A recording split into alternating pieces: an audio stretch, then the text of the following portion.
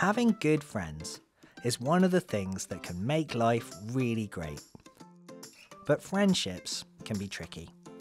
And even a really good friend can make us feel bad sometimes. So it's good to talk about our friends with our carers and our family. It's wise to talk about the kinds of things that you do together. It's nice to share good memories.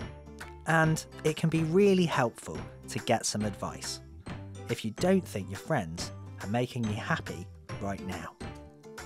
These are some of the things that you should talk about with your carer before it reaches boiling point.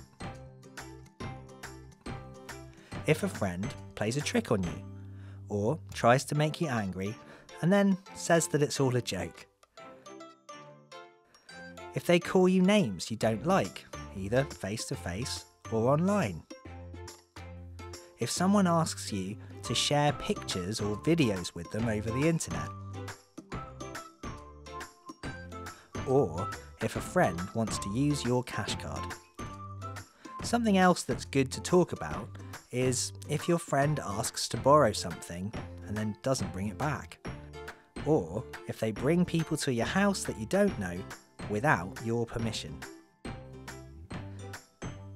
It's good to have some rules about what a friend is and isn't allowed to do. For example, they should never refuse to leave if you ask them to, or ask you to look after something, or even deliver it somewhere without telling you the truth about what it is. They shouldn't take money without asking, or make you pay for things for them, like food or alcohol. They should never make you feel scared, out of control, or like you can't say no when they want you to do something.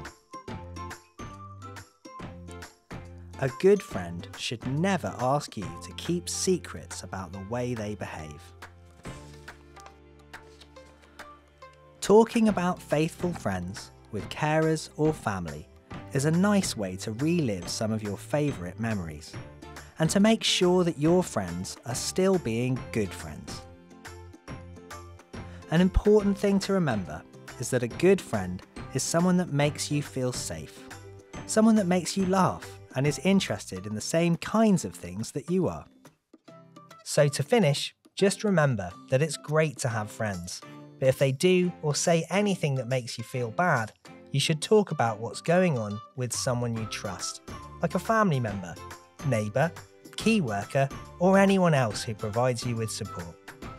If you can't find someone you can trust, in Richmond or Wandsworth, you can always reach us using the numbers or emails on screen and get in contact with someone who can help.